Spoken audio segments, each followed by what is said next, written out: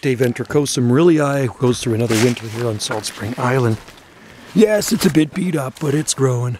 This one's got a big trunk on it. This is a red banana. I think they're from Ethiopia, so look at the size of the trunk on it, the base. There's Musa basjoo.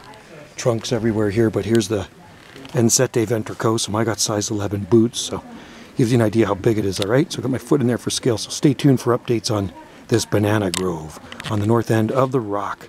Cheers to you, man. Yeah.